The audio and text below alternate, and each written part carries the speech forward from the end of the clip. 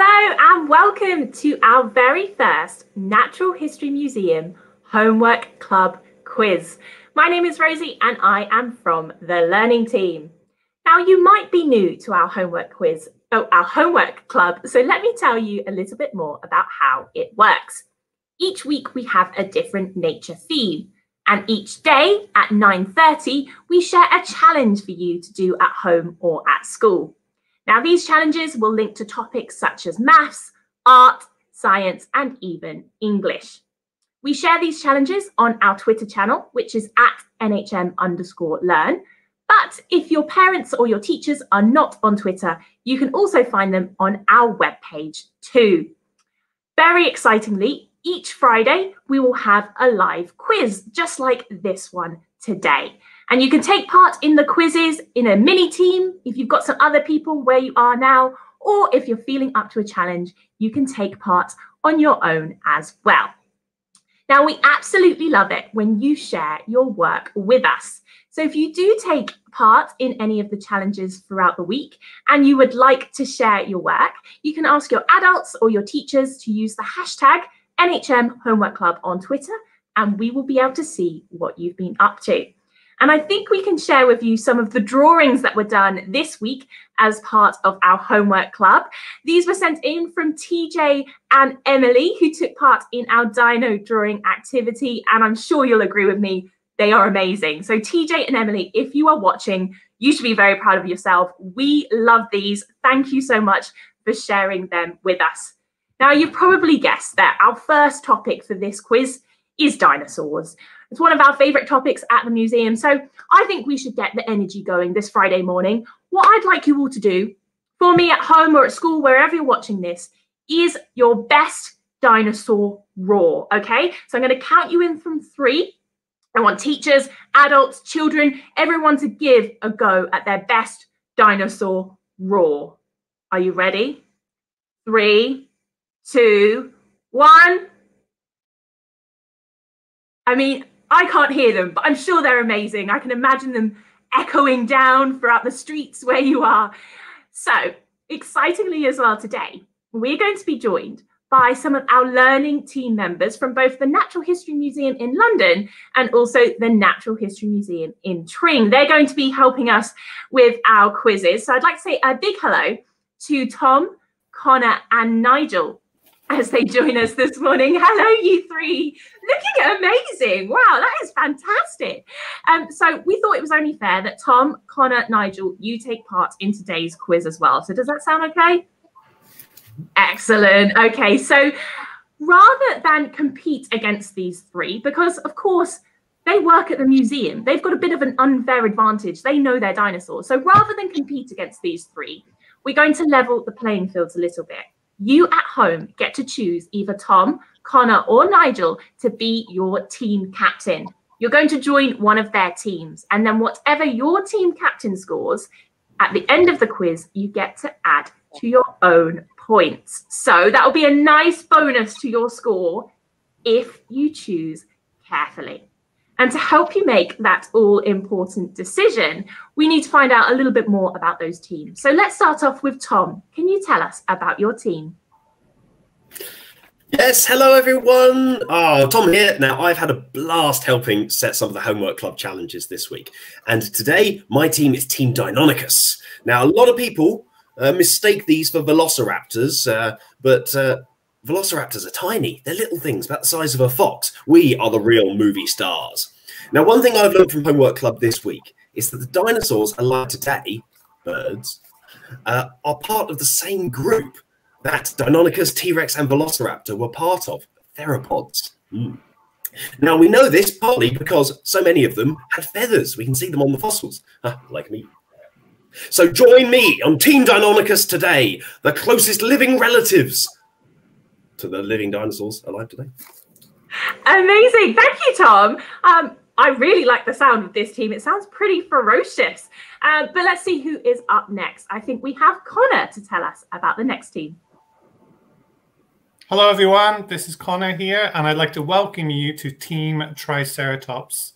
Now, this week on Dinosaur Club, um, I've learned all about how dinosaur legs go straight down under the body. That's one of the features that makes a dinosaur. And here we've got a perfect example with our Triceratops. Triceratops also has these three strong horns, which it could use to even fight off the mighty T-Rex, which makes the Triceratops one of the strongest dinosaurs out there. So I want you to invite you to Team Triceratops, which is one of the strongest teams out there. Please join us.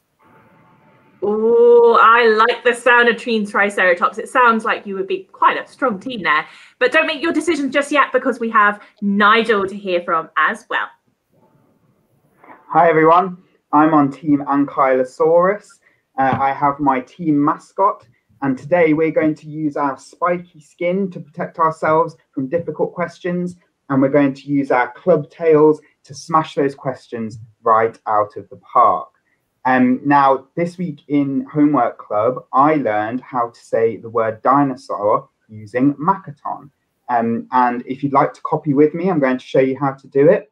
So we start off by moving our dinosaur feet forwards and then imagining lots of time going past. So it's dinosaur. Dinosaur. I like that. Thanks, Nigel. Thanks for sharing. Okay, now it's over to you at home or at school, wherever you're watching, to choose your team. Will it be Team Deinonychus, Team Triceratops, or Team Ankylosaurus? And if you're watching on YouTube, you can actually let us know in the comments which team you are joining today. Whilst you do that, I'm going to tell you about the rules of the quiz. There are going to be three rounds with four questions in each. Now, we'll ask you a question give you a short while to think about the answer, and then go on to the answer pretty much right away. So that means that you don't need to worry about writing your answers down, but it is a good idea to have pen or paper, something to write on nearby, so you can record your score. And also, there will be a drawing question later on. So you'll need something to draw on a little bit later. There will be one point for each correct answer. So that's a maximum of 12 points for you to score at home. But don't forget, you will be adding on your team captain's points too at the end of the quiz. We do want you to talk in your teams at home or at school about what you think the answers are. Come up with an answer together. But please don't be tempted to post your answer in the chat box. And if you do see anyone posting their answers, don't be tempted to copy them because they might not have the right answer. So hopefully you've joined your teams already. I'm just going to check the comments and see which teams are popular. Um, team captains, Tom, Connor, Nigel, are you feeling ready for the quiz? Are you ready to give it a go? I hope they are um, because, oh, there they are. They're giving us a thumbs up. They're looking good. Fantastic. Um, brilliant. So I think we are ready to get started with round one. Round one is going to test your general dino knowledge. Okay, so question one. Dippy is one of our favourite dinosaurs at the museum. But what type of dinosaur is Dippy? What type of dinosaur is Dippy? In fact, Dippy's been touring the UK recently. It's visited lots of different destinations. Maybe even you got to visit Dippy. And did you know Dippy has a Blue Peter badge. That's pretty cool. There's not many dinosaurs out there that have a Blue Peter badge. But what type of dinosaur is Dippy? Okay, hopefully you have your answers ready at home. We can reveal that the correct answer is Diplodocus. Well done if you said Diplodocus. Or if you said Diplodocus, that's also fine. You get one point if you said that. Okay, question number two. This is a simple true or false question. Some dinosaurs were smaller than you. True or false? Some dinosaurs were smaller than you. True or false? Hmm. Well, we know that dinosaurs could be huge. We've heard of Ankylosaurus, Triceratops, Deinonychus today. We know that they could get pretty big. And there were ones like Titanosaur that was absolutely humongous. But were there any small dinosaurs? Some dinosaurs were smaller than you. True or false? We can reveal that the correct answer is True. Well done if you said true. That is one point for you. Okay, question number three. So, most dinosaurs went extinct 65 million years ago, but some survived. Did you know that? There are still dinosaurs alive today. But which types of animals that are still alive today are considered dinosaurs? Now, this is a tricky question, although I think Tom might have given us a bit of a clue earlier if you were listening in on that. Um, so we've got three options for you to choose from. You think it might be A, giraffes, B, iguanas, or C, chickens? So which types of animals that are still alive today are considered dinosaurs? A, giraffe, B, iguana, or C, chickens? Hmm, that is a tricky one. If you're not sure, just have a guess. You've got a one in three chance of getting it right. Hopefully you have your answers ready at home. We can reveal that the correct answer is chicken. Well done if you said chicken. Now, I know that might surprise some of you. Um, chickens are dinosaurs? What? In fact, all birds are considered dinosaurs. Scientists call them avian dinosaurs. Now, that, that might be blowing some of your minds. There are still dinosaurs alive today. If you go for a walk later on today and you see any pigeons or any birds around, you're technically looking at dinosaur. Um, so if, if you'd like to find out more information to, about that, you can head to our website um, and we've got some more details to help you learn about why birds are considered dinosaurs. Okay, it's time for our final question of round one. What is the Makaton sign for dinosaur? So, like Nigel said earlier, we've been learning a lot of Makaton in our homework club with our friends from Tring. But what is the Makaton sign for dinosaur? Can you remember what Nigel showed us not too long ago? Hopefully, you've got some ideas. Have a go at doing it at home see if your friends or your classmates or your brothers and sisters, adults, whoever's around can remember as well. Um, but I think we should bring back Nigel to help us answer this question. So, hello again to Nigel. Hopefully, you're going to join us there. Um, can you help us with the answer for this one? Yeah, of course. So, if we remember, it's got two main parts. We walk forward with dinosaur feet, and then we imagine a lot of time going past. So, it's dinosaur. Dinosaur. I really like that. I'm going to do that all day, I think. Um, so if you did that at home you had your feet walking forwards and some time in the past, a little bit like that, or if you did something that looked vaguely similar, um, you get one point. Well done. Okay. So that is the end of round one. So please let us know your scores where you're playing. You can use the chat box on YouTube. And we'll bring back our other team captains to find out how many points we've got so far. So remember, it's out of four for round one. Um, Nigel, I, I imagine you got that Makaton one. You did pretty well there. But how did you do overall? Yeah, like you said, I've been practicing my Makaton, so I knew that one. And but I wasn't really sure about question three because the iguana has spikes, a bit like an ankylosaurus. So I wasn't sure whether it might be a dinosaur. And um, so I got three points in total. Ah, excellent. Three points. That is very, very good. Well done to Team Ankylosaur. Um, next up, let's hear from Team Triceratops. How are you getting on?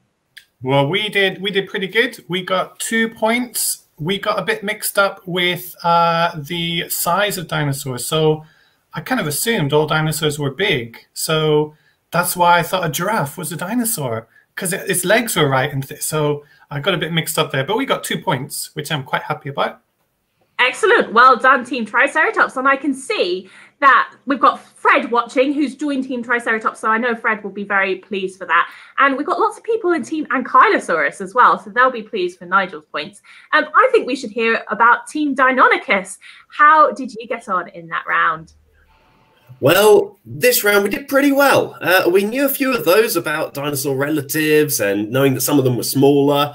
But uh, I'm afraid to say that we got so confused with how many different pronunciations, we forgot what the dinosaur Dippy was. So uh, we didn't get that one. We got three out of four. That is a brilliant score, three out of four. That some of them were quite tricky questions. And I can see in our comments, we've got Nakul playing as well, who's got two points, Megan, who's got three out of four, and we've got someone else called Nigel playing at home, and they're on four out of four points. So we've got some very good scores coming in. Well done. Keep it up. Um, team captains, you've been fab so far. We'll say goodbye for now and see you after the next round. Let's dive in to round two, which is called Is It a Dinosaur? So this is going to be a rapid response round. We're going to show you four different animals, and all you need to do is work out is it a dinosaur? So if you think it is a dinosaur, at home or at school, you can just give a thumbs up like that. If you think it is not a dinosaur, you can give a thumbs down. Now, also try to remember back. Connor said something at the beginning of the quiz today um, that gave us a little bit of a clue about something to look out for with dinosaurs, something to do with their legs. So that might help you, but if you're not sure, just have a guess. Okay, are you ready? Question one Is it a dinosaur? Stegosaurus. Is it a dinosaur? Stegosaurus. So remember, you can give a thumbs up at home if you think it is, or a thumbs down if you think it is not a dinosaur. Check in with the other people around you as well. Do they agree? Is it a dinosaur, Stegosaurus? Well, we can reveal that the correct answer is yes! Stegosaurus is a dinosaur. One point for you if you got that right. Okay, next up, we have question two. Is it a dinosaur? Ichthyosaur. Ichthyosaur. Hmm, that is a slightly trickier one. Is it a dinosaur? So remember, at home, you can give a thumbs up for yes or a thumbs down for no. Is it a dinosaur? Ichthyosaur. Well, we can reveal that the correct answer is no. The answer here is no. Ichthyosaur is not a dinosaur. So if you said no, that is one point for you. Well done, because that was a tricky one. That might also be a bit of a surprise to some people at home that this ichthyosaur is not a dinosaur. So we'll clear clear things up in, in just a bit. Um, but for now, we'll move on to question three. Is it a dinosaur? Mantellisaurus. Mantellisaurus. Is it a dinosaur? Now, that's actually one of the specimens that we have at the Natural History Museum. You might recognize the building of the museum in the background. It's quite an iconic um, building. But is Mantellisaurus a dinosaur? Thumbs up for yes, thumbs down for no. Hopefully, you have your answers ready. We can reveal that the correct answer is Yes, Mantellisaurus is a dinosaur. Well done if you said yes. That is one point for you. Question four Is it a dinosaur? Dimetrodon. Hmm. Is it a dinosaur? Dimetrodon. I think this is a little bit tricky as well. I've not heard too much about this dinosaur, or this animal, I should say. I'm not sure if it is a dinosaur or not yet. Um, not heard too much about it, but it definitely does look quite a prehistoric animal is it a dinosaur? So you know the drill. Thumbs up for yes, thumbs down for no. We can reveal that the correct answer is no. No, Dimetrodon is not a dinosaur. Oh, I'm sure that would have caught some of you out. That is another tricky one. So, ichthyosaurs, Dimetrodon, not dinosaurs. So I think let's bring back Connor because Connor was learning about this in Homework Club this week to help clarify how can we tell what were we looking out for in that question? Well, yeah, it can be quite tricky because you might have seen all of these animals in different books about dinosaurs and things, but also they might be about other kinds of um, extinct animals too. There's a couple of things you can look out for. The first thing is look out for the legs because dinosaur legs always goes straight down under the body. So if you have a look at the Stegosaurus and Mantellisaurus, you can see their legs go straight down under their body. If you have a look at Dimetrodon, you can see its legs kind of stick out to the sides a bit in this sprawling position, a bit like a lizard. So that shows us that Dimetrodon was not a dinosaur. The other thing to look out for is where they lived, because dinosaurs were all land animals. They didn't live in the ocean. So if you have a look at the ichthyosaur, it's got flippers and a swimming tail. It was a, a water animal. So um, that kind of gives us a clue that it was not a dinosaur as well. That is very useful to know. Um, so there we have it. That is the end of round two. So let us know your scores at home. We're keen to hear how you're getting on. Um, but we'll bring back our other team captains and um, to find out how they're doing. So we'll start off with Connor. I'm, I'm guessing you did pretty pretty well in that round. Yeah, this was the round I was waiting for. And Team Triceratops, we scored four points. So I'm happy with that. I'm sure Team Triceratops at home will be very happy with that as well. Well done, Team Triceratops. And Team Ankylosaurus, how are you getting on? Uh, so I wasn't really sure about the ichthyosaur uh, because it has saw in its name, and I thought maybe it was a dinosaur. Then I remembered what Connor said about legs, and so I managed to get four points. Fantastic. I know Team Ankylosaurus at home will be very, very happy with that as well. Um, and last but not least, Team Deinonychus, how are you getting on? Uh, we did we did pretty well as well. We we got three. Uh, the one that we didn't get was Dimetrodon. Uh, we remembered that there was a dinosaur with a sail, but it wasn't that one. It must not have been because that Dimetrodon's not a dinosaur. So uh, we didn't get that, but we got three out of four. Oh, well done. I think that is pretty good going. And I can see some scores coming in from home as well. So we've got Kitson, who is age 11, got three in that round, which is fantastic. Nakul is going strong with two as well. Shamalia, I hope I said that right, has got three points. So some very good scores going on. Um, well done so far. Um, so this means it is time for our final round. So team captains, we'll see you again shortly. Let's start our final round.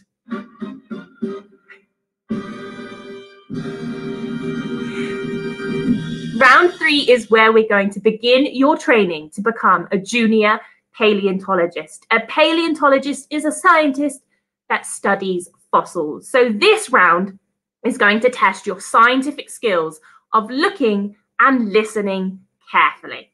Okay, so uh, question one is going to get you looking very carefully at one of our specimens. So in a moment, you're going to see an image of Sophie the Stegosaurus from the museum. We're going to give you 15 seconds to count how many plates does Sophie the Stegosaur have? Now, the plates are the things on Sophie's back. They're quite thin. Have a look out for them. So we'll show you an image really close up in a moment you're going to have 15 seconds to count how many plates Sophie the Stegosaurus has. Are you ready? Let's go.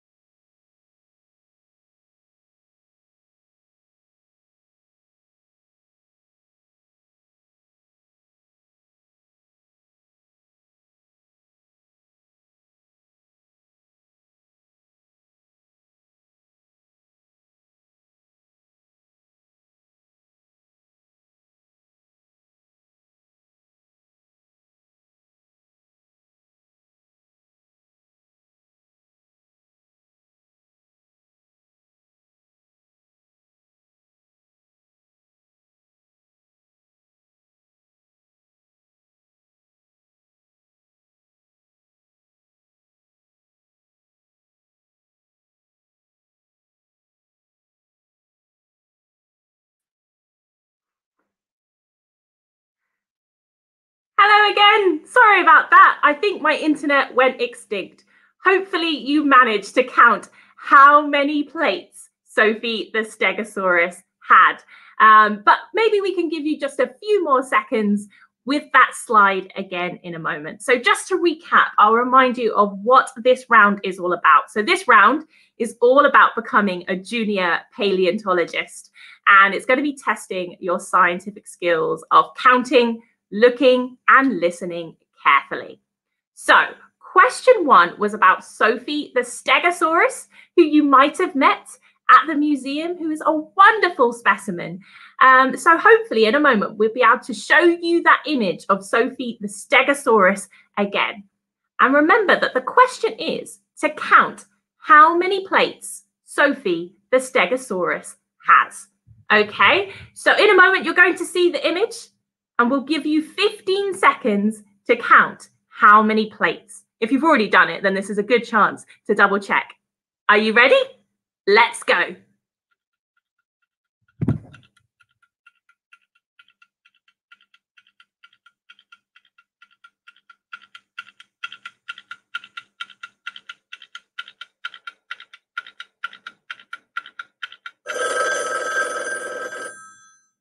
Time's up.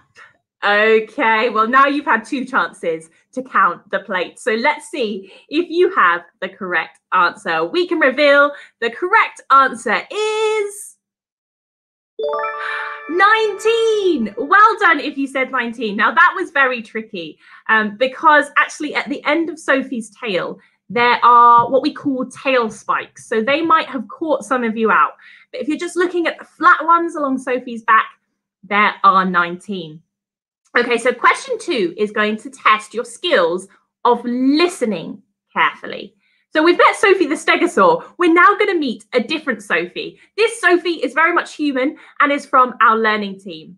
We want you to listen carefully to Sophie because she's going to be describing a mystery dinosaur. And we want you to have a think about what dinosaur is being described. So in a moment, you're going to see Sophie from our learning team listen carefully to the description of the mystery dinosaur and answer what dinosaur is being described. Are we ready? Over to Sophie. This mystery dinosaur has a long pointy nose, a little bit like a crocodile. It has sharp pointy teeth and sharp claws on its fingers. Along its back it has a sail which sticks up in the air. Scientists recently made discoveries that suggest this dinosaur may have liked to swim and might have used its thick tail to help power through the water.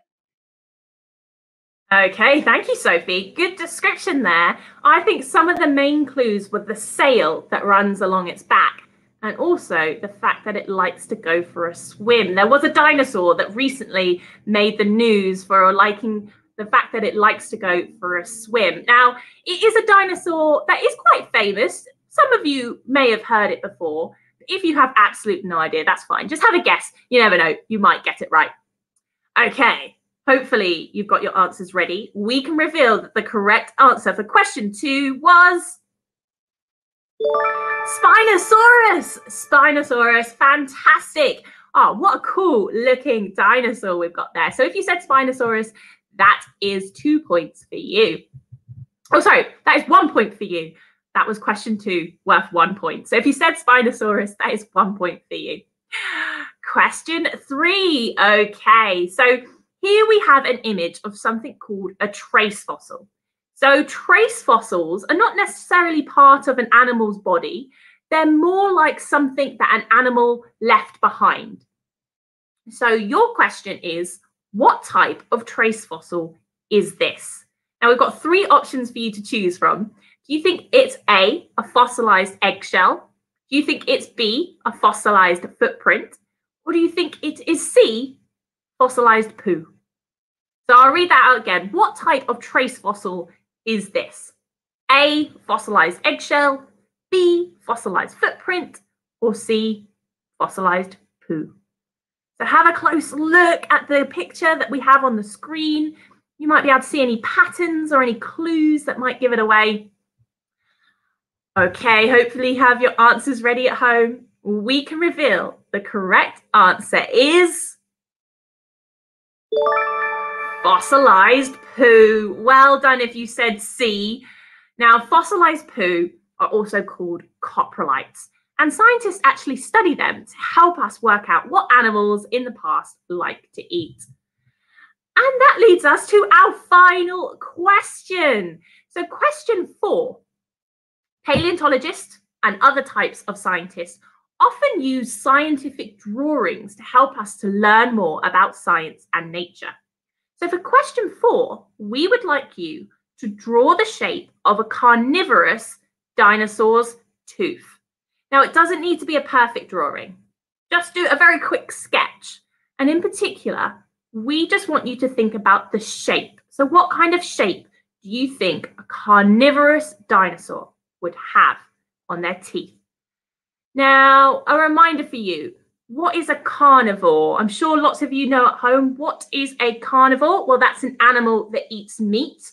So think about the sort of shape a carnivorous dinosaur's tooth would be. So I'll just give you a few moments to finish your drawing. You'll get a point for the shape, remember. Um, but whilst you're finishing that, let's bring back Tom, one of our team captains from Team Deinonychus, um, to see what you did for your drawing. Hello again, Tom. Hello again. Oh, yes. I'm glad you asked me this one because I'm the only team that is a carnivore. So I should definitely know this one. And I've, I've drawn a couple of teeth here. So we've got a long pointy one and we've got a sharp serrated one. So both of these are types of carnivore teeth. They are fantastic. Now, I should say for you playing along at home, don't worry if they're not quite as detailed as that. The way that you get the point for this one, if you've drawn something that looks sharp or it looks pointy, you get one point. And Tom, that is fantastic. Thank you for sharing them with us. That brings us to the end of our quiz questions. So you can now add up your scores and let us know how many points you have so far. But in a moment, you'll be adding on your points from your team captain. So we'll bring back Team Triceratops and Team Ankylosaurus there. Hello again. Oh, I'm very excited to find out your final scores, and we'll start with Tom. I had a fantastic round. I was able to get all four correct. Uh, I was really pleased to see Spinosaurus, one of my theropod cousins, appear. That's the one I was thinking of in round two, so I'm glad he made an appearance. Amazing. And I gotta say, I did say earlier, I love your feather arm guards, just like Deinonychus. They are incredible yeah keeping your eggs warm fantastic um so that brings you to a total of 10 points for team deinonychus oh. 10 points amazing your team at home will be thrilled with that um let's go up next to team triceratops how did you get on we did well. So, luckily, due to technical problems, we had a second chance at counting the Stegosaurus plates. And that brought our score up to four points. So we got a total of 10 points as well. Oh, fantastic. Team Triceratops are going to be really pleased with that. Well done, Connor. And last but not least, Team Ankylosaurus. Did you did you beat them? Did you get more than 10? Well, I knew that Ankylosaurus, like our mascot here, have round teeth for eating plants. So I knew about the pointed teeth for carnivores. But I counted too many plates on Sophie the Stegosaurus's back. Still, I got three points, so that means in total 10 points as well. Amazing team and Ankylosaurus on 10 points. And we've got some more scores coming in from our friends at home. So Otto, who's age six, has nine out of 12 points. Fred got seven. Theo, age seven, got four out of four in that round. So mm-hmm. well done to everyone playing at home you will have noticed, Tom's noticed, he's done the maths. We've got a bit of a tie in our online studio this morning. And I think it would be really nice for our first ever homework club quiz to have a winner. So I think the way we will settle this is with a roar off. Are you ready for a roar off? Now, if you're unfamiliar with the term roar off, um, don't worry, it's very simple. Each of our team captains are going to have a chance to do their best dinosaur noise. Okay, so we'll hear from Tom, then Connor, then Nigel. And then it's up to you at home to decide which of our team captains did the best dinosaur noise, and they will get one extra point. So I'll keep my eyes peeled in the comments to see what you think at home, who deserves that extra point. Um, but if you can't come to a consensus, if there's no overwhelming winner, I will choose who I think has got the best one. But so let me know in the comments so we we can crown your winner. Um, so team captains, are you up for that? Are you going to give it a go? Excellent. Okay, so we're going to start with Tom, and I'll count each of you in from three. Are you ready? Three, two, one.